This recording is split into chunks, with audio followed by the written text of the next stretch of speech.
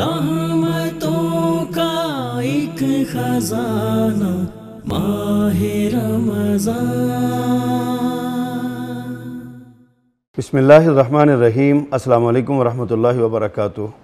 ناظرین کرام، دنیا بھر میں قرآن و سنت کی مصفہ تعلیمات کے فروغ میں مصروف عمل، پیغام ٹی وی کی افطار ٹرانسمیشن میں آپ کا میزبان محمد ابرار ظہیر آپ کو خوش آمدید کہتا ہے۔ ناظرین کرام رمضان المبارک میں بہت سے اچھے کام، بہت سی عبادات اور بہت سی طاعات ہم کرتے ہیں۔ اللہ تعالیٰ کی فضل اور اس کی رحمت کے ساتھ نیکی کا ایک موسم بنا ہوتا ہے۔ لوگ نیکی کا جذبہ، اس کا، اس کو بہت زیادہ اس کی نشت ثانیہ ہو جاتی ہے اور لوگ بڑے جذبے کے ساتھ نیکی کا کام کرتے ہیں۔ روزہ رکھنا افطار کروانا، سحر کا اہتمام کرنا، نماز تراوی پڑھنا، تلاوت قرآن مجید میں مصروف رہنا، اور اس طرح کے بہت سے کام جو ہم رمضان المبارک میں خاص کر کے بڑے جوش و خروش اور ولولے سے کرتے ہیں۔ انہی کاموں میں ایک کام جو بالخصوص ہمارے معاشرے میں زیادہ ہوتا ہے، لیکن عام دنوں، عام معاملات میں بھی، عام ممالک میں بھی یہ چیز ہوتی ہے کہ رمضان المبارک میں ہم زکوٰۃ، صدقات اور انفاق کا عمل جو ہے یہ بہت زیادہ کرتے ہیں۔ یقیناً یہ بہت اچھا عمل ہے۔ انفاق فی سبیل اللہ ایک عظیم الشان فعل ہے، جس کے بہت سے اثرات بھی ہیں اور اجر بھی اللہ کی طرف سے بے شمار ملتے ہیں۔ اسی طرح اپنے مال کو زکوٰۃ دے کر اس کو پاک کرنا یہ بھی قرآن مجید کا حکم ہے، اللہ کا پیغام ہے۔ اور خاص کر کے مسلمان کے لیے تو یہ ایسے لازم ہے زکوٰۃ دینا کہ یہ اسلام کا ایک باقاعدہ رکن ہے، بنیادی رکن ہے زکوٰۃ۔ لیکن زکوٰۃ کے معاملے میں اور انفاق کے معاملے میں ہمارے بہت سے لوگ، بہت سی غلط فہمیوں کا اور کوتاہیوں کا شکار ہیں۔ آج کی اس نشست میں ہم چاہتے ہیں کہ زکوٰۃ کے کچھ اہم مسائل بیان کریں، انفاق فی سبیل اللہ کی فضیلت اور اہمیت پر گفتگو کریں۔ اور آج کی اس وزم میں، آج کی اس مجلس میں ہمارے شریک گفتگو ہوں گے، ہمارے رہنما ہوں گے۔ ہمیں دین کے اس اہم ترین جز کے بارے میں رہنمائی دیں گے۔ فضیلت الشیخ شیخ الحدیث و تفسیر حضرت مولانا محمد یونس بٹ صاحب بہت شکریہ شیخ آپ کا آپ تشریف لائے۔ اللہ تعالیٰ آپ کو برکت دے۔ اور ان کے ساتھ تشریف فرما ہیں عظیم عالم دین ہیں فضیلت الشیخ جناب مولانا ڈاکٹر عتیق الرحمن صاحب حافظ اللہ تعالیٰ۔ ڈاکٹر صاحب آپ کا بھی شکریہ آپ تشریف لائے۔ اللہ آپ کو برکت دے۔ ہمارے دونوں مہمان فیصل آباد سے عظیم ادارہ جامعہ سلفیہ سے تعلق رکھتے ہیں اور انہوں نے اپنی زندگی ساری اسی طرح کے مسائل بیان کرتے ہوئے، سمجھاتے ہوئے، سمجھتے ہوئے گزار دی ہے۔ تو ہم ان سے ہمارے جو مسائل ہیں، ان پر رہنمائی لیتے ہیں اور یہ ان میں کئی ایسے سوال ہیں جو ناظرین کی طرف سے ہمیں ملے ہوئے ہیں، لوگوں کی خواہشات ہیں کہ ہمیں یہ ان سوالوں کے جواب چاہیے۔ تو یہ ان سوالوں کے جواب کے لیے شیخ محترم آپ سے آغاز کرتے ہیں۔ یہ فرمائیے کہ انفاق فی سبیل اللہ کا مطلب کیا ہے اور اس کی اہمیت کیا ہے؟ بسم اللہ الرحمن الرحیم۔ انفاق فی سبیل اللہ کا معنی یہ ہے کہ اللہ تعالیٰ کی رضا کے لیے جو مال اس نے ہمیں عطا کیا ہوا ہے، اس کو خرچ کرنا۔ انسانیت کی بہبود کے لیے، فلاح کے لیے، دین کی اشاعت کے لیے، ترقی کے لیے، جہاں بھی ضرورت ہو، انسانوں کے لیے، اللہ کے بندوں کے لیے اللہ کی مخلوق کے لیے اللہ کے دین کے لیے وہاں اپنا مال خرچ کرنا اس کا نام ہے انفاق فی سبیل اللہ۔ اللہ۔ ڈاکٹر صاحب آپ یہ فرمائیے کہ کیا انفاق فی سبیل اللہ رمضان میں کرنے سے اس کی اہمیت دو چند ہو جاتی ہے یا عام دنوں میں بھی اس کی وہی اہمیت باقی رہتی ہے کہ جیسے لوگوں کو عام دنوں میں بھی یہ جذبہ ان کے اندر موجود ہونا چاہیے؟ بسم اللہ والصلاة والسلام علی رسول اللہ وعلی علیہ وصحبہ وموالا جیسا کہ آپ نے سوال کیا ہے کہ انفاق فی سبیل اللہ رمضان اور غیر رمضان میں ایک جیسا رہتا ہے حقیقت یہ ہے کہ جگہ کے اعتبار سے وقت کے اعتبار سے اعمال کی افضلیت میں فرق پڑتا ہے۔ اچھا۔ نماز پڑھنا ہر مسجد میں بہتر ہے۔ فضیلت والا ہے۔ لیکن جہاں پہ نمازیوں کی تعداد زیادہ ہو وہاں پہ نماز کے اجر میں اضافہ ہو جاتا ہے۔ اچھا اور یہی نماز اگر بیت المقدس میں پڑھی جائے تو عام مسجدوں کی نسبت اس میں زیادہ اجر ہے۔ بیت مسجد نبی میں پڑھی جائے تو اس سے زیادہ اجر ہے۔ اور بیت اللہ میں چلی جائے تو اس سے زیادہ ہے۔ بالکل اسی طرح وقت کے اعتبار سے بھی اعمال کی فضیلت میں جو ہے وہ اضافہ اور کمی بیشی جو ہے وہ ہوتی ہے۔ تو یقینی بات ہے کہ رمضان کا مہینہ جو ہے وہ بابرکت ہے فضیلت والا ہے تو اس میں اعمال جو ہے وہ زیادہ اجر والے بن جاتے ہیں زیادہ فضیلت والے بن جاتے ہیں۔ تو جس طریقے سے دوسرے نماز دوسرے اعمال روزہ ہے نماز ہے تراوی ہے نوافل ہیں ذکر و اذکار ہیں یقیناً انشاءاللہ ان کا اجر بھی بڑھتا ہے۔ اسی طرح انفاق فیصب اللہ بھی بڑھتا ہے۔ عام حالات میں انفاق فیصب اللہ یعنی اس کا بھی اجر ہے بہت زیادہ اہمیت ہے لیکن رمضان میں یقینی بات ہے کہ اس سے زیادہ اجر ہے۔ بلکہ بسا اوقات حالات کے اعتبار سے بھی فضیلت جو ہے وہ بڑھ جاتی ہے۔ یعنی ایک انسان جو ہے وہ کسی کو بھی صدقہ خیرات کرتا ہے تو اچھی بات ہے فضیلت ہے۔ لیکن ایک آدمی شدید بھوک میں ہے شدید احتیاج میں ہے ہاں، تو اس وقت جو ہے وہ صدقہ صدقہ خیرات یقین اس کا جو ہے وہ اجر ثواب۔ اچھا شیخ بڑا خوبصورت رہنمائی فرمائی ہے ڈاکٹر صاحب نے ہماری۔ عام دنوں میں بھی اس کی فضیلت ہے لیکن رمضان میں بہرحال جیسے واقعات کے اعتبار سے جگہ کے اعتبار سے وقت کے اعتبار سے آپ یہ بتائیے کہ یہ نبی کریم صلی اللہ علیہ وسلم کی اسوہ سے صحابہ کرام کے اسوہ سے ہمیں کیا سبق ملتا ہے انفاق کے حوالے سے؟ رمضان میں ان کی کیا کیفیت ہوتی تھی؟ رمضان کے علاوہ بھی کوئی ایسا کوئی فرق ایک روایت میں یہ ہے کہ نبی وسلم رمضان کے مہینے میں عام ایام کی نسبت بہت زیادہ خرچ کیا کرتے تھے۔ بلکہ تیز آندھی سے بڑھ کر بالکل تیز آندھی سے بڑھ کے مال خرچ کرتے تھے تو جہاں بھی ضرورت ہوگی۔ صحیح۔ ویسے پورا سال اب بھی اب کام کرتے تھے۔ ٹھیک۔ جب بھی کہیں سے مال آیا اپنے رکھا نہیں خرچ کر دیا۔ صحیح صحیح ہو گیا۔ ایسے سابق کرام بھی تھے۔ رمضان ہو یا عام مہینے ہوں ہمیشہ وہ جب بھی کوئی مال آئے یا کسی سائل کو دیکھا کسی غریب کو دیکھا مسکین کو دیکھا تو مال خرچ کرتے تھے۔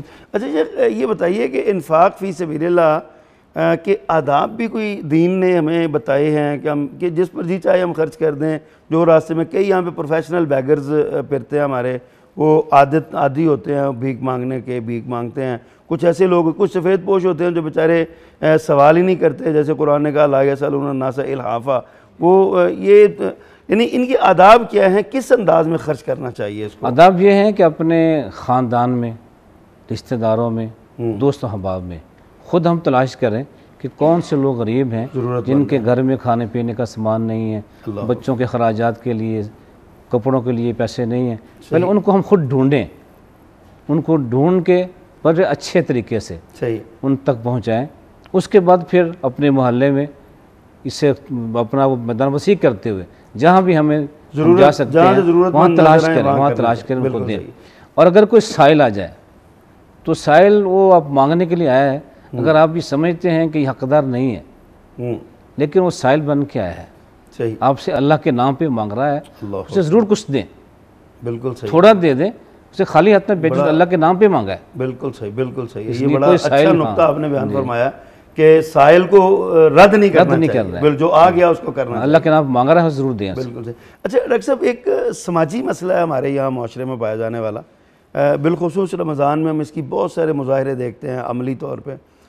کچھ لوگ صدقات و زکوٰۃ کرتے ہیں اور وہ اپنے مال کا کو افطار کی صورت میں، راشن کی صورت میں اجتماعی طور پہ وہ تقسیم کرتے ہیں، پھر اس کی وہ تصاویر بناتے ہیں اور سوشل میڈیا پہ، اخبارات پہ وہ دیتے ہیں اور اس کو وہ سمجھتے ہیں۔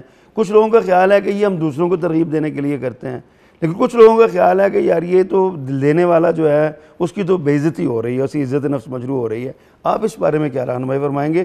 میں سمجھتا ہوں یہ بھی انفاق کی آداب کا بڑا اہم جز ہونا چاہیے یہ بات بھی۔ بارک اللہ فیکم میں پہلے سوال کی نسبت سے بھی تھوڑی سی بات کرنا چاہوں گا۔ جی جی۔ انفاق فیصب اللہ کے آداب میں یہ بات بھی شامل کرنی چاہیے کہ ان اللہ طیب اللہ اقبال اللہ طیب۔ اللہ اللہ تبارک تعالیٰ پاکیزہ ہیں اور پاکیزہ چیز کو قبول کرتے ہیں تو کوشش کرنی چاہیے حلال کمایا جائے۔ صحیح۔ حلال کما کر حلال میں سے خرچ جو ہے وہ کیا جائے۔ ٹھیک۔ اور دوسرا جیسا کہ آپ نے ذکر کیا کہ کچھ جو ہے وہ پیشہ ور بھکاری ہیں وہ مانگتے ہیں۔ تو اگرچہ ان کو رد نہیں کرنا چاہیے لیکن یہ ہے کہ صحیح طریقے سے اصلاح کی کوشش ضرور کرنی چاہیے۔ بالکل صحیح آپ سلم نے کے پاس دو آدمی آئے تھے تو انہوں نے آ کر کچھ پیسے مانگے یا مال مانگا۔ صحیح۔ تو آپ نے اوپر سے لے کر نیچے تک ان کا جائزہ لیا۔ اللہ تو آپ نے دیکھا کہ آپ تو طاقتور اور صحت مند اور تندرست آدمی ہو۔ تمہارا حق نہیں بنتا اس میں۔ اگر تم چاہتے ہو تو میں تمہیں دے دیتا ہوں لیکن صحیح بات یہ ہے کہ تمہارا اس میں حق نہیں ہے۔ تو اس کا مطلب یہ ہے کہ ان کی رہنمائی بھی کرنی چاہیے اور کسی حد تک مناسب طریقے سے حوصلہ شکنی بھی کرنی چاہیے تاکہ بسا اوقات ایسا ہوتا ہے کہ ہم ہر بندے کو دیکھتے ہیں یار یہ پیشہ ور ہے۔ تو بسا اوقات ضرورت مند بھی آتے ہیں تو وہ بھی محروم رہ جاتے ہیں۔ تو لہٰذا دونوں میں تمیز بھی ہونی چاہیے فرق بھی ہونا چاہیے اور لوگوں کو آگاہی بھی جو ہے وہ دینی چاہیے۔ اس میں بات یہ بھی ہے کہ جو ہمارا نظامی زکوٰۃ ہے اس کا مقصد کسی کو کھانا بنا نہیں دینا ہے۔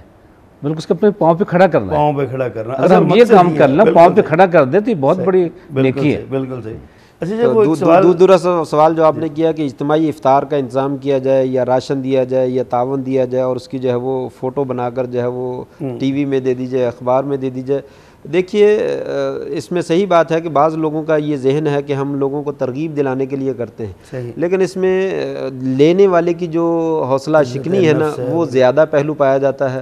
اور اسی طرح سے اس میں ریاکاری کا پہلو بھی جو ہے وہ نظر آتا ہے نمایاں طور پہ۔ ان چیزوں سے اگر گریز کیا جائے تو زیادہ اچھا ہے۔ لوگوں کو ویسے بتلایا جائے ذکر کر دیا جائے کہ فلاں جگہ پہ ہم گئے اتنے پیسے ایک آدمی نے دیے اتنے مزدور غریب لوگوں کی ہم نے مدد کی ہے ہم نے یہ یہ مدد کی ہے۔ تو زبانی بھی ذکر کیا جا سکتا ہے بغیر نام کے ذکر کیا ہے بغیر تصویر کے ذکر کیا جا سکتا ہے۔ تو اس لیے جو ہے یہ درست معلوم نہیں ہوتا شیخ کا بھی یہی تصویر میں اگر مال دکھا دیں کہ یہ مال تھا سامان ہم نے تقسیم کیا ہاں، ہم نے ہمیں ملا تھا لوگوں نے دیا لیکن جو لوگ غریب لوگ ان کو تصویر نہ لائیں۔ بالکل بالکل صحیح ہو گیا۔ اچھا یہ بتائیے ہمارے ناظرین کے لیے آپ ایک راہ عمل ہم متعین کر رہے ہیں جذبہ ان کے دلوں میں پیدا کر رہے ہیں۔ تو ظاہر ہے ہمارے لیے رول ماڈل تو یا رسول اللہ صلی اللہ علیہ وسلم کی ذات گرامی ہے یا پھر آپ کے شاگردان رشید صحابہ کرام رضوان اللہ علیہ مجمعین رسول اللہ صلی اللہ علیہ وسلم کی سخاوت کے کچھ چند ایک واقعات ہمارے ناظرین کے لیے آپ اگر بیان فرمائیں تو ہمارے ایمان میں یقیناً اضافہ ہوگا۔ آپ کے واقعات میں سے یہ کہ جب بھی آپ کے پاس مال ہوا تو آپ نے رکھا نہیں۔ صحیح۔ ایک دن آپ نے نماز پڑھی نماز کے بعد فوراً گھر چلے گئے۔ سب حیران ہوئی یہ کیا بات کی؟ ایسا آپ نے کیوں کیا کبھی ایسا کیا نہیں۔ پوچھا گیا کہا گھر میں کچھ مال پڑا تھا سونا آیا ہوا تھا۔ مجھے اب یاد آیا کہ گھر میں پڑا ہوا ہے۔ اور فوراً گھر میں گئے وہ تقسیم کر کے آئے۔ اور آپ نے فرمایا کر میرے پاس نا اہت پاٹ جس سونا بھی ہونا تو میں سارا خرچ کر لوں۔ تین دن میں نا کچھ نہ رکھ دوں۔ اللہ کو قرضہ ادا کرنا اور رکھ لوں وغیرہ سارا مال میں خرچ کر دوں۔ یہ جذبہ تھا۔ کہ مال اگر آ جائے رکھنا نہیں بالکل صحیح جو بھی سائل ہوں گے غریب لوگ بڑی خوبصورت رہنمائی آپ نے کی ہے۔ وقت ہوا بریک کا۔ بریک کے بعد آتے ہیں پھر مزید کچھ اس طرح کے سوالات ہوں گے۔ ناظرین کرام آپ کے مسائل اور ان کا حل بالخصوص زکاة کے حوالے سے انفاق فی سبیل اللہ کے حوالے سے بڑی اہم سوالات ہیں انشاءاللہ اگلے سیگمنٹ میں کریں گے۔ ہمارے ساتھ رہیے گا۔ چند لمحات کے بعد دوبارہ حاضر ہوتے ہیں۔ رحمتوں کا ایک خزانہ۔ ماہ رمضان۔ رحمتوں کا ایک خزانہ ماہ رمضان۔ ویلکم بیک ناظرین، پیغام ٹی وی کی افطار ٹرانسمیشن جاری ہے اور وقفے سے پہلے ہم انفاق فی سبیل اللہ کے حوالے سے بات کر رہے تھے۔ اللہ کے راستے میں، اللہ کے دیے ہوئے مال کو، اللہ کے بندوں پر، اللہ کی رضا کے لیے خرچ کرنا۔ یہ کتنے بڑے سعادت کی بات ہے۔ اور ہمارے شیخ صاحب نے ہمیں رسول اللہ صلی اللہ علیہ وسلم کے طرز عمل سے آگاہ کیا تھا۔ شیخ میں اگلے جو مسائل ہیں ان پر جانے سے پہلے آپ سے یہ درخواست کروں گا کہ صحابہ کرام رضوان اللہ علیہ مجمعین کا جو جذبہ انفاق فی سبیل اللہ تھا اس پر تھوڑی سی روشنی آپ ڈالیں۔ بارک اللہ فیکم۔ نبی کریم صلی اللہ علیہ وسلم کے بارے میں جو یہ حدیث ہے کہ آپ وسلم رمضان المبارک کے مہینہ میں تیز آندھی سے زیادہ بھی سخاوت کیا کرتے تھے جود کا لفظ آتا ہے اس میں۔ جود جو ہے نا اہل علم نے ذکر کیا کہ یہ ایک وصف ہے کرم کے معنی میں۔ کرم کا مطلب یہ ہے کہ اعتاؤ ما یمبغی لم یمبغی صحیح۔ جس کو جس چیز کی ضرورت ہے وہی دے دینا۔ اللہ اکبر۔ تو یہ بھی ایک سخاوت کی قسم ہے۔ جیسا کہ ایک حدیث میں بھی آتا ہے وَالْقَلِمَةُ الطیبۃ صدقۃ و امات الادا عن وَقَفُ صدقۃ وقف الادا تو گویا کہ یہ تمام چیزیں ٹھیک ہے پیسہ خرچ کرنا اصل میں یہی انفاق سبیل اللہ ہے۔ لیکن اس کے ساتھ ساتھ یہ نیکی کے جتنے کام لوگوں کی فلاح و بہبود کے ہیں یہ سارے صدقہ ہیں۔ تو اس میں نبی کریم صلی اللہ علیہ وسلم جو ہے وہ بڑھ چڑھ کر حصہ لیتے تھے صحابہ کرام جو ہے وہ بڑھ چڑھ کر حصہ لیتے تھے۔ صحابہ کرام کی تو بے شمار مثالیں جو ہے وہ موجود ہیں۔ ان میں سے میں دیکھ رہا تھا حضرت عمر رضی اللہ تعالیٰ سے منقول ہے کہ انہوں نے غالباً چار ہزار دینار یا چار سو دینار تھیلی میں بند کیے اور اپنے آدمی سے کہا جاؤ فلاں صحابی کو دیو اللہ تو اور ساتھ میں کہا کہ انتظار کرنا دیکھنا وہ کیا کرتے ہیں۔ کیا؟ تو انہوں نے جناب بھیجے تو انہوں نے پیسے وصول کیے فوراً اپنے غلام کو بلایا اور کہا یہ پانچ دینار فلاں کو دے ہو دس دینار اس کو دے ہو پندرہ دینار اس کو دے ہو بیس دینار اس کو دے وہ اس نے سارا ختم کر دی۔ پھر اسی طریقے سے انہوں نے دوسرے بندے کو بھیجا۔ بلکہ بیوی بولی۔ کچھ ہمیں بھی دے دیں۔ تو وہ دو دینار یا کوئی دس دینار شاید بچے تو وہ انہوں نے ان کو دے دی۔ اچھا، اچھا، وہ ان اچھا، کو انہوں نے دے دی۔ دوسرے صحابی یعنی کے دیا۔ سوال کر سکتی ہیں ویسے ہیں؟ بلکل صحیح ہے دوسرے صحابی کے بارے میں بھی ایسی ہے ان کو دیا تو انہوں نے بھی ایسی ہی خرچ کر دیا اسی طرح وہ ایک انساری صحابی کا واقعہ بھی آتا ہے کہ آپ صلی اللہ علیہ وسلم کے پاس ایک مہمان آ گیا تو آپ نے پہلے اپنے گھر میں بھیجا بندے کو۔ کہ جاؤ گھر میں دیکھو کھانے پینے کے لیے کوئی چیز ہے تو گھر سے جواب آیا پانی کے علاوہ کوئی چیز نہیں ہے۔ تو پھر آپ نے صحابہ میں اعلان کیا کوئی ہے اللہ کے مہمان کو میرے مہمان کو اپنے گھر میں لے جائے تو ایک انصاری صحابی کہنے لگا یا رسول اللہ مجھے دے دیجیے میں لے جاتا ہوں۔ گھر میں جا کر پوچھا کہ رسول صلی اللہ علیہ وسلم کا مہمان آیا ہے کوئی کھانے پینے کے لیے چیز ہے؟ تو اس نے کہا بچوں کے لیے کھانا ہے بس وہی ہے اس کے علاوہ کچھ نہیں۔ میرے لیے اور آپ کے لیے اور مہمان کے لیے کچھ نہیں ایک بندے کا کھانا ہے تقریباً۔ تو اس نے کہا کوئی بات نہیں۔ آپ ایسا کریں کہ دیا کو بجھا دیجیے بچے کو سلا دیجیے اور کھانا پیش کر دیجیے اور میں بھی مہمان کے ساتھ بیٹھ کر کھاتا رہوں گا صرف منہ ہلاتا رہوں گا اور مہمان پیٹ بھر کر کھا لیں یعنی اپنا سب کچھ جو ہے وہ قربان کر دیا۔ اپنے آپ کو بھی ضرورت ہے بیوی کو بھی ضرورت ہے بچوں کو بھی ضرورت ہے لیکن تینوں لوگ جو ہے وہ بھوکے رات کو سو گئے اور مہمان کو جو ہے وہ پیٹ بھر کے کھانا کھلا دیا۔ یہ ایسے ایک حدیث میں آتا ہے کہ ایک غریب گھرانہ تھا۔ کسی نے ان کو ایک سیڑھی دی بکرے کی کہ غریب لوگ کھا لیں۔ اس نے سوچا کہ ہمارے پاس تو ابھی ہم نے کھانا کھا لیا ہے فلاں گھرانہ غریب ہے۔ وہاں بھیج دیتے ہیں۔ ادھر بھیج دی۔ انہیں سوچا کہ ہمارے پاس بھی ضرورت نہیں ہے کسی اور کے بھیج دی یا کئی گھروں سے ہوتے ہوتے اسی گھر میں بھی واپس اسی گھر میں آ گئی۔ اللہ ہیں۔ یہ جذبہ غریبوں میں بھی تھا کہ کچھ چیز ہو دینے کے لیے ہم بھی دیں۔ اچھا جی یہی میں آپ سے نا میرے سوال کر رہا کرنا چاہ رہا تھا کہ کیا یہ جو صدقہ دینا خیرات کرنا یہ صرف مالداروں کے کام ہے یا کوئی کمزور جو لوگ ہیں غریب جیسے ابھی آپ نے میرے سوال سے پہلے ہی بتا دیا تو یہ غریب لوگوں کو آپ کیا نصیحت کرتے ہیں اس حوالے سے کہ وہ بھی کچھ نہ کچھ اللہ کے راستے میں دیا کریں؟ غریبوں کو احساس زیادہ ہوتا ہے غربت کا کہ مسکینی کیا ہوتی ہے بھوک کیا ہوتی ہے اس لیے وہ تو خیال رکھتے ہیں کہ کوئی چیز بھی آ جائے نا دوسروں کو دے دیتے ہیں۔ اس لیے سبھی کا کام جو مسلمان ہے انسان ہے۔ صحیح ہے اسے دیکھنا چاہیے کہ ہمارے معاشرے میں کون سے لوگ محتاج ہیں غریب ہیں ضرورت پوری کی بھوکے پیاسے ہیں ان کو دیں۔ اچھا جی اس میں اس میں نا دو دو حدیثیں ہیں۔ جی جی۔ اسی مسئلے کے بارے میں جو آپ نے ذکر کیا اس میں ہے آپ صلی اللہ علیہ وسلم کا فرمان ہے خیر الصدقۃ ماکانہ ظہر غنا۔ ایک حدیث یہ ہے۔ بہترین صدقہ وہ ہے جو تونگری اور مالداری کے بعد اپنی ضروریات کو پورا کرنے کے بعد کے بعد جو دیا جائے۔ دیا جائے۔ اور دوسری حدیث ہے افضل الصدقۃ جہد المقل۔ بہترین صدقہ وہ ہے جو کم مال والا ہے وہ اپنی محنت اور مشقت کی جو ہے وہ نکال کر نکال کر جو ہے وہ دیتا ہے، ظاہری طور پر دونوں حدیثوں میں تعارض نظر آتا ہے کہ لیکن دونوں ایک دوسرے کے مخالف نہیں ہیں کچھ لوگ ہیں وہ وہم کا شکار ہو جاتے ہیں کہ میں نے صدقہ خیرات کر دیا تو کہاں سے کھاؤں گا؟ یہ میرا گھر کا خرچہ کیسے چلے گا؟ اچھا اس کے لیے آپ نے فرمایا خیر الصدقۃ ماکانہ ظاہر گنا جس کا ایمان کو بہت زیادہ مضبوط نہیں ہے اللہ تعالیٰ پر بہت زیادہ توکل اور اعتماد نہیں ہے۔ وہ ضرورت جب اپنی پوری پہلے کرے پھر اس کے بعد لوگوں کو خرچ کرے۔ جن کا ایمان مضبوط ہے جن کا ایمان مضبوط ہے وہ صحابی کی طرح۔ خود بھی بھوکا رہ لیا بچے کو بھی بھوکا رکھ لیا بیوی کو بھوکا رکھ لیا مہمان کو پیٹ بھر کے کھانا کھلا دیا۔ ایک ہے ایک ہے صدقہ ایک ہے اثار یہ اس سے اگلی منزل ہے۔ ہاں، تیسری منزل ہے ہاں، یہ یہ سے اگلی منزل ہے کہ خود بھوکے رہیں گے۔ اللہ جیسے انصاری صاحبی نے کیا وہ سارا سلسلہ کیا۔ اچھا یہ صدقہ اور خیرات اور زکوٰۃ یہ تین عموماً لفظ بولے جاتے ہیں ہمارے معاشرے میں۔ کیا ان تینوں میں کوئی فرق ہے؟ صدقہ کیا ہوتا ہے؟ زکوٰۃ کیا ہے؟ اور خیرات کیا ہے؟ جو ہم عموماً دیکھیے عربی زبان کے لحاظ سے تو فرق کوئی نہیں ہے۔ صحیح۔ فرضی زکوٰۃ کو بھی صدقہ کہا گیا ہے ٹھیک۔ زکوٰۃ بھی کہی گئی ہے خراب بھی کہا گیا ہے۔ لیکن ہماری اردو زبان فرق کیا جاتا ہے کہ صدقہ خراب وہ ہوتا ہے جو فرضی نہ ہو نفلی ہو۔ اچھا۔ اور اس میں جذبہ ہوتا ہے کسی کی امداد کرنے کا کسی پہ احسان کرنے کا۔ صحیح۔ اس لیے یہ تو جو بھی آدمی دے رہا ہے احسان کر رہا ہے محبت کا اظہار کر رہا ہے یہ یہ جذبہ ہوتا ہے کہ میں اس کی امداد کرنی ہے۔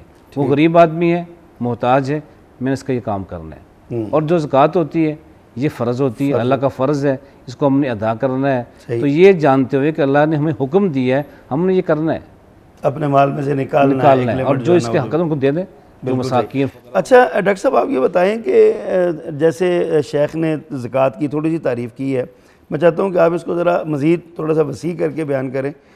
اور یہ بتائیں کہ کہ یہ زکوٰۃ جو لینے والا ہے کیا اس کے بارے میں کوئی منفی بات کی جا سکتی ہے کہ یار منہ لوگ کہتے ہیں یار زکوٰۃ لیندہ ہے یہ یہ تو بندہ ٹھیک نہیں ہے اور یہ وہ۔ کیا کہتے ہیں آپ اس بارے میں؟ زکوٰۃ کی تعریف جو ہے وہ یہ ہے کہ شریعت نے کچھ مال مقرر کیے ہیں کہ یہ مال اگر اتنی مقدار تک پہنچ جائیں تو اس میں سے اتنا حصہ جو ہے وہ اپنے غریب مسکین فقیر لوگوں کے لیے نکالنا ہے۔ صحیح۔ تو یہ مختصر اختصار کے ساتھ جو ہے وہ تعریف کی جا سکتی ہے۔ تو جیسا کہ آپ نے کہا کہ اس کے لیے یہ لفظ بولا جائے کہ یہ آپ زکوٰۃ لیتے ہیں اصل میں شریعت نے اس کو اوساخ الناس کا لفظ بولا ہے۔ زکوٰۃ کو اوساخ الناس لوگوں کے مالوں کی میل کچیل کا لفظ جو ہے وہ بولا ہے۔ صحیح۔ یہ اس لیے بولا ہے تاکہ جو غیر مستحق لوگ ہیں وہ اس کی طرف قدم نہ بڑھیں وہ اس کو وصول نہ کریں۔ ان لوگوں کو تاکہ جن لوگوں کا یہ حق ہے ان لوگوں تک پہنچ جائے۔ اس لیے شریعت نے کہا کہ آپ لوگ جو ہے وہ آگے نہ بڑھیں یہ آپ کے لیے اچھا نہیں مناسب ہی نہیں ہے۔ میں نے بھی کہا رئی تکما جلدین۔ میں نے تم کو دیکھا تم طاقتور آدمی ہو۔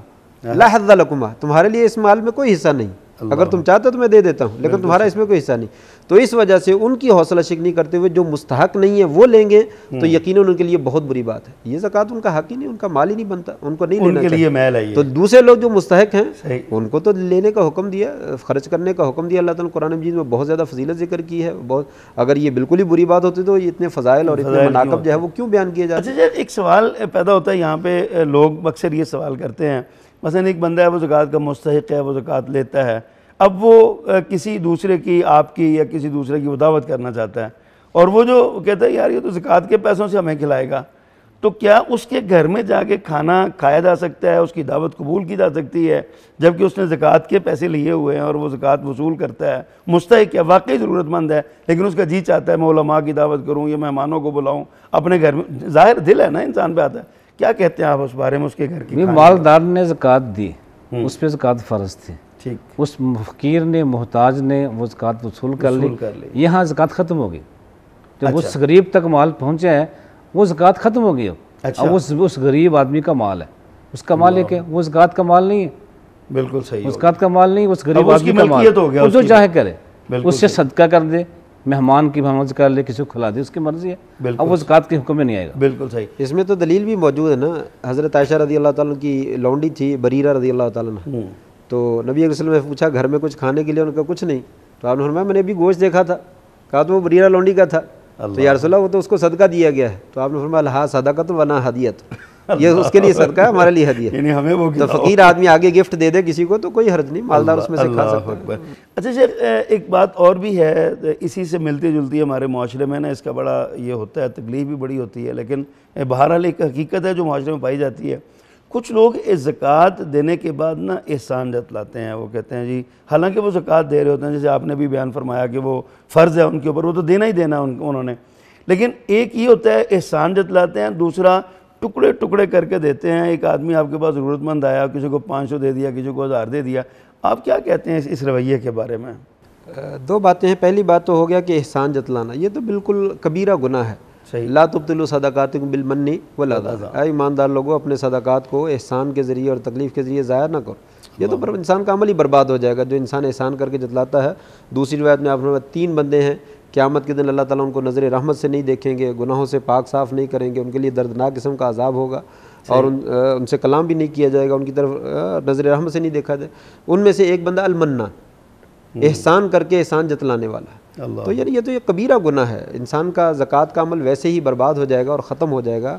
انسان کو اس اس میں اجر نہیں ملے گا بلکہ اس کے لیے وہ بال جان بن جائے گا۔ دوسری بات ٹکڑے ٹکڑے ٹکڑے ٹکڑے کر کے دینا۔ دیکھیے اس میں دو شکلیں ہیں۔ ایک تو یہ ہے کہ جو مانگنے والا ہے وہ ضرورت مند ہی تھوڑا ہے۔ اس کی تھوڑے پیسے دینے سے ضرورت پوری ہو جاتی ہے۔ تو یقیناً تھوڑے تھوڑے کر کے دینے چاہیے تاکہ زیادہ لوگ اس میں مستفید ہو جائیں۔ تو یہ تو بہت اچھی بات ہے۔ لیکن اگر اس کی ضرورت نہیں پوری ہو رہی آپ جتنے دیتے ہیں اس کو پھر مزید حاجت ہے۔ جیسا کہ شیخ نے پہلے بھی ذکر کیا تھا کہ انسان کو سپورٹ کرنا اس کو اپنے پاؤں پہ کھڑا کرنا سب مقصود تو یہ ہے۔ تو اس کی دیکھیں ضرورت کتنی ہے۔ اگر ضرورت زیادہ ضرورت زیادہ دینا چاہیے اس وقت جو ہے وہ کاٹنا اور ٹکڑے ٹکڑے کر کے دینا جو ہے یہ مناسب معلوم نہیں ہوتا یہ مناسب نہیں معلوم ہوتا۔ انسان کو اس کی ضرورت پوری کی جائے۔ ہاں دیکھا ضرورت پوری ہو گئی ہے باقی بچتا ہے تو وہ کسی دوسرے کو دیا جائے تاکہ دوسرے لوگ بھی صرف ایسے بھی ہوتا ہے بعض کا تو غریب گھرانے ہوتے ہیں۔ ان کا خطر کرتے ہیں مہانہ طور پہ۔ بالکل صحیح۔ کہ آپ کو ہر ممکن آ کے لے لے کر رہی ہے بالکل یہ بھی صحیح ہے جائز ہے بالکل ٹھیک ہو گیا بعض مدارس میں بھی لوگ کہتے ہیں جی آپ مدرسے کو امہانہ جو ہے نا لے جایا کریں ہم سے آ کے تو لیکن شاید اس کے ایک اور پہلو بھی تو ہے نا جو مارکیٹوں میں ہمیں نظر آتا ہے وہ پیسے لوگ دوبارہ کاروبار میں ڈال لیتے ہیں۔ جو زکوٰۃ کے انہوں نے نکالے ہوتے ہیں نا وہ پیسے دوبارہ کاروبار میں ڈال لیتے ہیں۔ اسی میں سے کمائی کر کے مدارس کو ضرورت مندوں کو دیتے رہتے ہیں۔ اور کہتے ہیں ہم نے زکوٰۃ ادا کر جب حساب کر لیا نا تو پھر پیسے الگ کرنے اس کو الگ استعمال نہیں کرنا انہیں یہ گناہ ہے۔ اسی طرح پیسے کے الگ کر لیں۔ اور بھی سوال ہیں وقت ٹائم ہوا بریک کا۔ ناظرین کرام آپ نے بڑے اہم سوالات سنے ہیں۔ اس کے آگے اور زیادہ اہم سوال ہیں۔ زکوٰۃ کے آداب کیا ہیں؟ زکوٰۃ کتنی ہے؟ کس مال میں کتنی ہے؟ اس طرح کے سوالات کے لیے ہمارے ساتھ رہیے گا۔ چند لمحات کے بعد دوبارہ حاضر ہوتے ہیں۔ رحمتوں کا ایک خزانہ ماہ رمضان۔ رحمتوں کا ایک خزانہ، ماہ رمضان۔ ویلکم بیک ناظرین۔ پیغام ٹی وی کی افطار ٹرانسمیشن جاری ہیں اور آج ہمارا موضوع گفتگو ہے انفاق فی سبیل اللہ، زکوٰۃ، صدقات اور خیرات اور اس کے آداب کیا ہیں۔ شیخ محترم، زکوٰۃ کی ہم بات کر رہے تھے۔ دین اسلام نے زکوٰۃ فرض قرار دی ہے اور یہ لازم ہے ہر صاحب نصاب پہ۔ لیکن یہ فرمائیے کہ صاحب نصاب کب بندہ بنتا ہے؟ یعنی کس پہ کتنے وہ صاحب نصاب کا مطلب کیا ہے؟ نصاب ہے چاندی کا ساڑھے باون تولے۔ ساڑھے باون تولے۔ جس انسان کے پاس اس کی قیمت موجود ہوگی۔ جو بھی حلاق رسی ہوں گی۔ یعنی یہ کم از کم یہ کم از کم کم از کم ساڑھے باون تولے اس چاندی۔ کی ہاں یہ چاندی ہے۔ ٹھیک۔ اس کی قیمت اس کے پاس ہوگی اس پر زکوٰۃ واجب ہے۔ ٹھیک ہو گیا۔ جی۔ اس سے زیادہ ہوگی تو ٹھیک ہے۔ صحیح۔ جی۔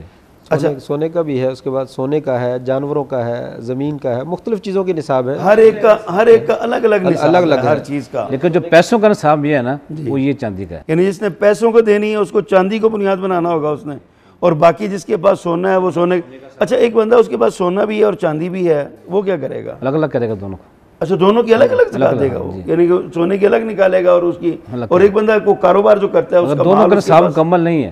سونا ہے لیکن تھوڑا نصاب کو نہیں پہنچتا ہے۔ اس پہ زکوٰۃ واجب نہیں ہے۔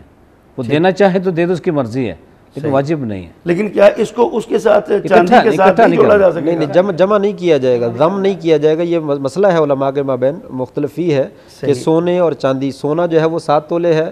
اور چاندی جو ہے وہ کچھ زیادہ کچھ ہے اور بھی ساڑھے باون تولے سے وہ بھی کم ہے۔ تو کیا دونوں کو ملا کر نصاب بنا لیں گے؟ یہ بڑا بعض بعض اہل علم کا بنائیں گے لیکن یہ وہ قول جو ہے وہ مرجو ہے جو اہل محق- محققین کا راج قول ہے نا وہ یہی ہے کہ نصاب مستقل سونا جو ہے وہ مستقل ایک جنس ہے چاندی جو ہے وہ مستقل جنس ہے اور شریعت نے دونوں کا نصاب علیحدہ علیحدہ ذکر کیا ہے۔ سونے کا جو ہے وہ بیس مسکال یا بیس دینار جو ہے وہ ذکر کیا جو ساڑھے سات تولے سونا ہے اور چاندی کا جو ہے وہ ساڑھے باون تولے علیحدہ ذکر کیا اگر یہ دونوں ایک چیز ہوتی تو نصاب ایک ہوتا۔ تو شریعت نے علیحدہ علیحدہ ذکر کیا تو اس کا مطلب یہ ہے کہ دونوں کو ضم نہیں کرنا دونوں کو جدا جدا رکھنا۔ ہے جیسے بھی کہ جانور جانور ہیں بکریاں بھی ہیں اونٹ بھی ہیں گائے بھی ہیں ان کا بھی نصاب ہے۔ کسی کے پاس نصاب نہیں ہے۔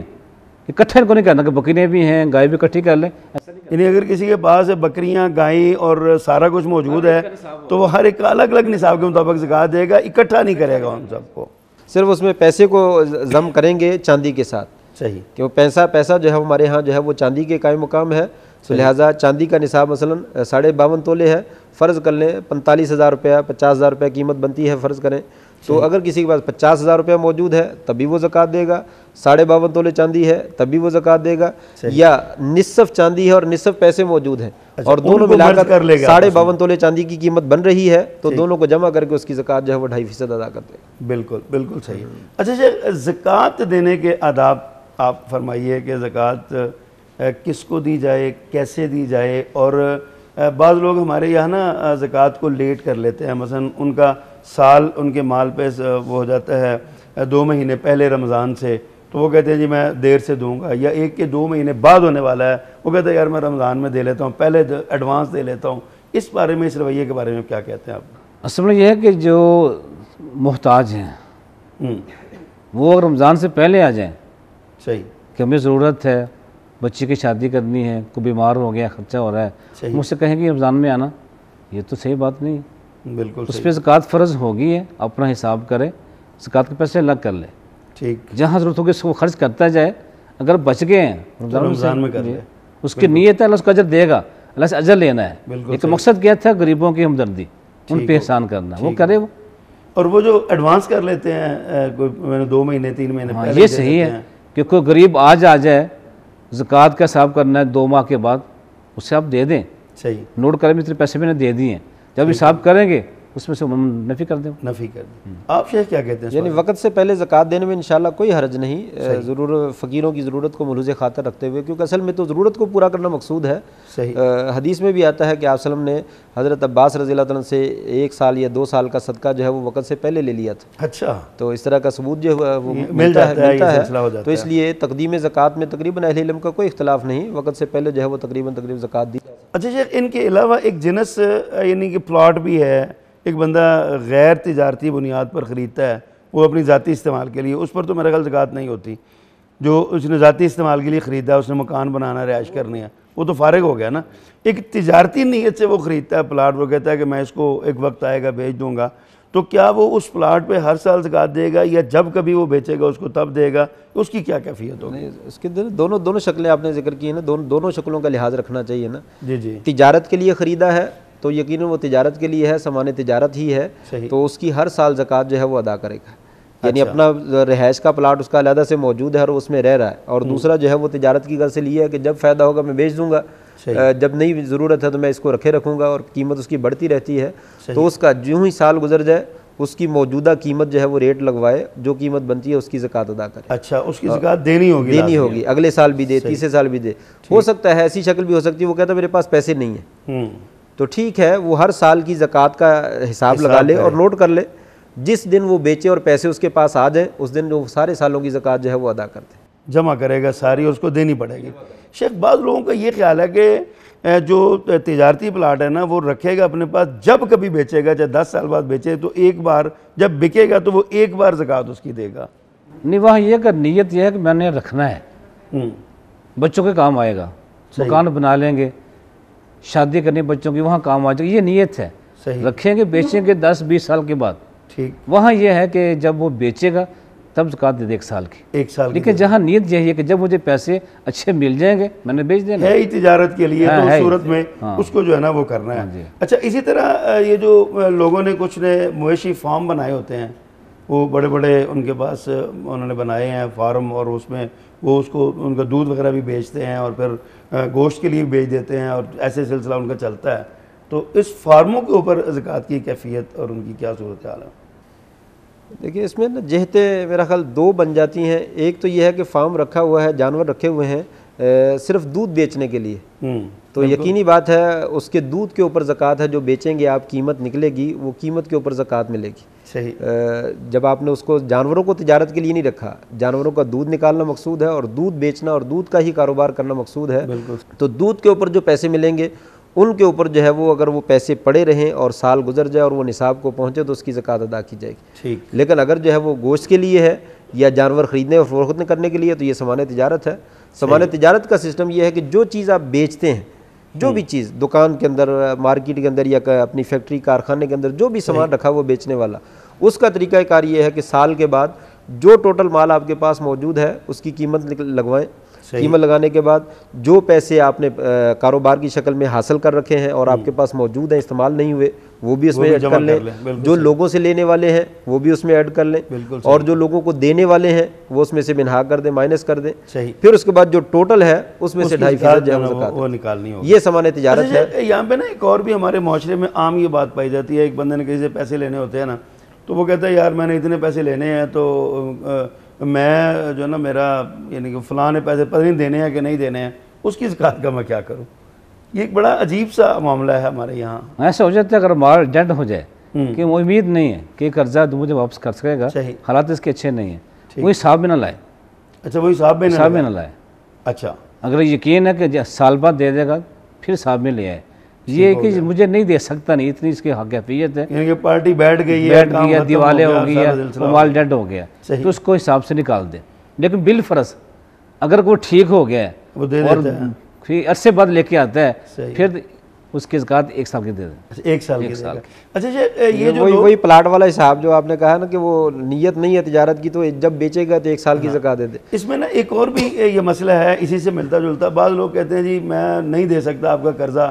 تو آپ جو ہے نا وہ میری زکوٰۃ مجھ مجھ پر زکوٰۃ لاگو ہو جاتی ہے۔ اپنی زکوٰۃ میں سے جو ہے نا وہ لوگ مسئلہ پوچھتے ہیں نا یہ باقاعدہ۔ اور کہتے ہیں جی ہم کیا وہ اس کو دینا ہے؟ اس نے مجھے دینا وہ دیتا نہیں ہے تو میں زکوٰۃ کاٹ لوں اس میں سے۔ اس بارے میں کیا کہتے ہیں آپ؟ میری ناقص رائے جو ہے وہ اس بارے میں یہی ہے کہ زکوٰۃ میں اس طریقے سے پیسے نہیں کٹوانے چاہیے۔ اس لیے کہ آپ نے بطور قرضہ رقم دی ہوئی ہے صحیح۔ اور آپ نے اس سے واپس لینا ہے اور قرضہ جب تک دے رکھا ہے اس کا اجر مل رہا ہے آپ کو۔ صحیح ہو گیا۔ اس کو معاف کر دیں گے تو اس میں مزید اجر جو ہے وہ مل جائے گا۔ بالکل ٹھیک۔ اسے پیسے دے دیں اب ہاں۔ اب اس کی مرضی ہے۔ آپ کو دے یا نہ دے۔ اچھا آپ چاہتے ہیں میری زکات میں نے دینی ہے نا؟ لوگ تو وہ اس کو اپنے پاس اس ہی رکھ ہاں۔ لیتے ہیں نا ادھر سے کہتے کہ ہیں یہ۔ کٹ گیا یہ سارا میں نے وہ تو انسان کے اوپر فرض ہے۔ بالکل گویا کہ اگر آپ اس میں پیسے کٹوا رہے ہیں نا تو میرا میرا جو موقع بنتا ذہن بنتا ہے نا وہ یہ ہے۔ گویا کہ آپ یوں کہنا چاہتے ہیں کہ پیسے میرے نہیں مرے اللہ کے مر گئے۔ زکوٰۃ جو میں نے دینی تھی نا وہ زکوٰۃ کے پیسے مر گئے۔ بڑا زبردست نقطہ ہے تو شیخ یہ نے، اس میں پیسے- نا نہیں کٹوانے اچھا چاہیے۔ جی، یہ بتائیے کہ زکوٰۃ سے مستثنا چیزیں کون کون سی ہیں؟ ہمارے استعمال میں آنے والی یا ہمارے گاڑی ہے ہمارے پاس یا گھر ہے یا اس طرح کی اور چیزیں جو ہیں ہمارے؟ وہ سب چیزیں جو گھر میں استعمال کرتے ہیں۔ گاڑی ہے ایک ہے زیادہ ہے سامان ہے۔ صحیح۔ جو چیزیں اور بھی اس میں نہیں۔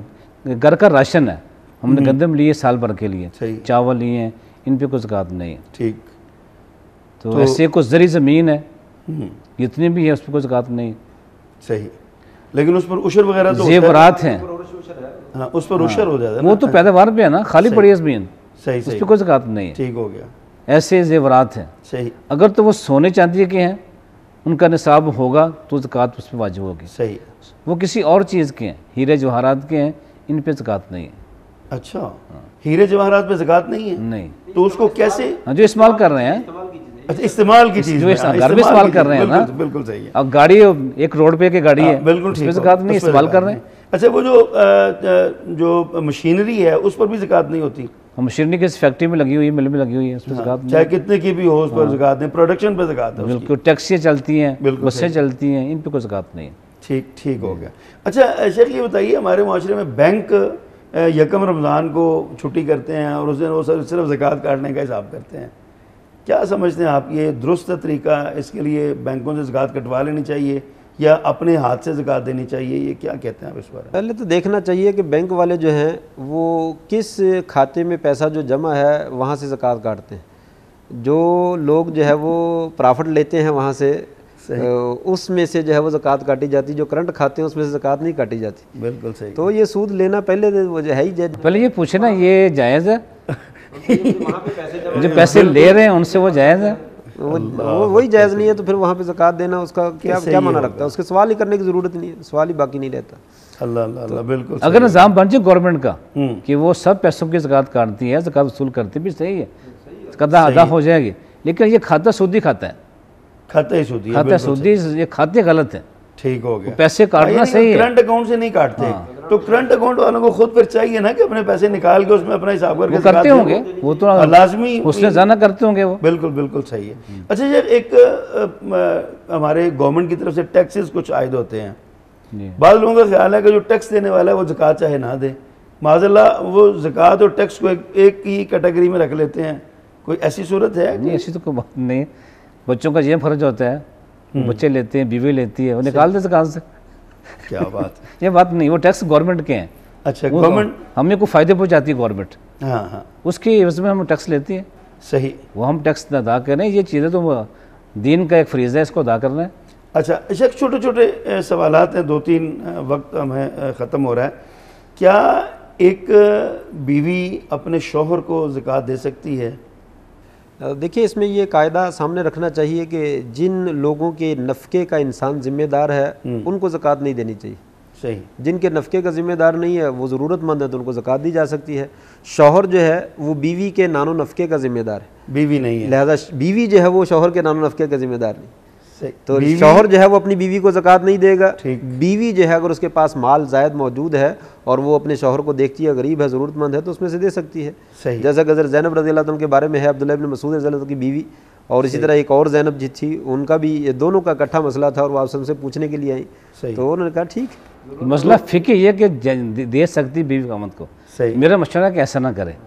اس کے پاس مال ہے اور زیادہ ہے خرچہ وہ خود برداشت کر لے گھر کا یہ بات ہے نا؟ یعنی اپنے شوہر کو کو احسان نہ ہاں، کرے اسی اپنا۔ کو زکات دینی ہے؟ بالکل اصل مال سے اس کو دے۔ اچھا کچھ لوگ شیخ والدین کے بارے۔ میں بھی یہی رویہ رکھتے ہیں کہ چونکہ ہم والدین کے ماتحت ہیں والدین ہمارے نہیں ہیں لہٰذا ایک بیٹا اپنے باپ کو یا ماں کو زکوٰۃ دے دے وہ یہاں بھی وہی قاعدہ یاد رکھیے کہ جن کے نان و نفقے کا انسان ذمہ دار ہے ان کو زکوٰۃ نہیں دے والدین اولاد کے نان و نفقے کا ذمہ دار ہیں۔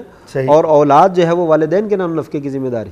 اور اس میں وہ حدیث بھی آپ سامنے رکھ لیں انت و مالو کا لے ابیک۔ تو اور تیرا مال تیرے باپ کا ہے۔ وہ تو تیرے کہنے کے یعنی بغیر اولاد ماں باپ کو اور ماں باپ اولاد کے لیے دے سکتے یہ بالکل نہیں دے سکتے بالکل نہیں دے سکتے کوئی بھی ایک دوسرے اگر بہن بھائی الگ ہیں تو ان کو دے سکتے ہیں۔ بھائی- بھائی کو دے سکتا ہے بھائی بہن ہاں، کو دے سکتا ہے بہن۔ بھائی کو دے ہاں، سکتی ہے۔ ہیں۔ یہ سلسلہ ہے لیکن ماں ہے۔ باپ کو یہ وہ ایک دوسرے کے نان و نفقے کے ذمہ دار نہیں ہے۔ شادی ہے، ہوگی فیملی علیحدہ ہوگی۔ اپنے اپنے نفقے سب ذمہ دار ہیں۔ بالکل وہاں پہ دی کہ جاتی یہاں بھی ہے کہ اس کے بہن بھائی ہیں۔ تھوڑی شرم کرے کہ میں اس کو کیا دے رہا ہوں؟ کیا دے رہا ہوں؟ پاس بہت مال ہے صحیح میں اس مال کو دوں۔ بالکل ٹھیک ہو گیا۔ ویسے جائز ہے دے یہ سکتے اخلاقی طور پہ دے سکتا ہے لیکن اخلاقی طور پہ اس کو سوچنا ہاں، سوچنا چاہیے کہ کہ- میں کیا کر رہا ہوں۔ اچھا جی ایک اور یہ سوال ہے۔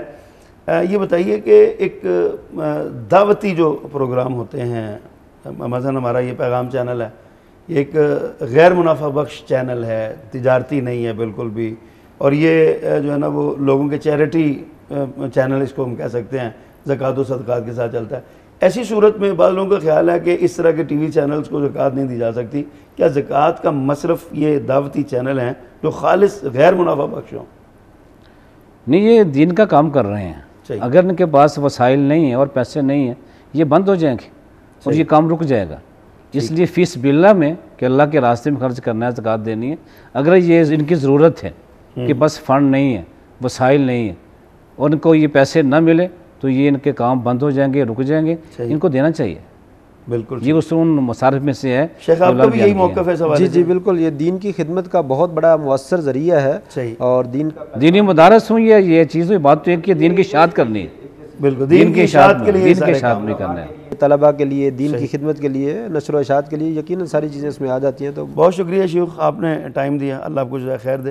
ناظرین کرام بہت سارے سوالات یقیناً آپ کے ذہن میں جو گتھیاں تھیں، ان سوالات کی سلجھ گئی ہوں گی۔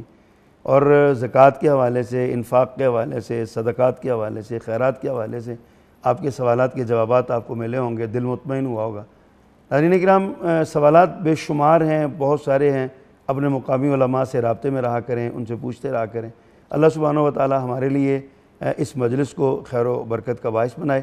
ہمیشہ کی طرح، پروگرام کے اختتام سے پہلے دو تین دعائیہ کلمات کے لیے تاکہ قبولیت کے ان اوقات میں اللہ تعالی ہماری دعا قبول فرما لے اور پوری قوم اس میں شریک ہو جائے۔ شیخ محترم آپ سے درخواست ہے کہ دو دعائیہ کلمات ارشاد فرمائیے۔ اللہ سے ہم دعا کرتے ہیں کہ اے اللہ یہ ماہ مقدس ہم سب کے لیے خیر کا برکت کا باعث بنا۔ ہمیں توفیق عطا فرما کہ ہم اس ماہ مقدس میں پہلے سے بڑھ کے تیری اطاعت کریں عبادت کریں اچھے کام کریں تیرے بندوں پہ غریبوں پہ احسان کریں ہمدردی کا اظہار کریں۔ اے اللہ ہماری عبادات قبول فرما نمازیں بھی روزے بھی۔ اور ہمیں توفیق دے کہ ہم ماہ رمضان کے بعد بھی اسی طرح یہ نئے کام کرتے رہیں۔ اللہ کے راہ میں خرچ کرنا بھی نمازوں کی پابندی بھی تلاوت قرآن بھی ذکر الہی بھی ہر وہ کام جو آج کل ہم کر رہے ہیں ہمیں اس کے بعد بھی اس کی توفیق عطا فرما۔ ناظرین کرام دعائیہ کلمات کے ساتھ اپنے میزبان محمد ابرار ظہیر کو کل تک کے لیے اجازت دیجیے اللہ حافظ۔ رحمتوں کا، برکتوں کا، بخششوں کا نام ہے۔ رب کی جانب سے یہ بندوں کی طرف انعام ہے۔ اس کی ہے پر نور صبح جان فضا ہر شام ہے۔ رحمتوں کا ایک خزانہ ماہ رمضان۔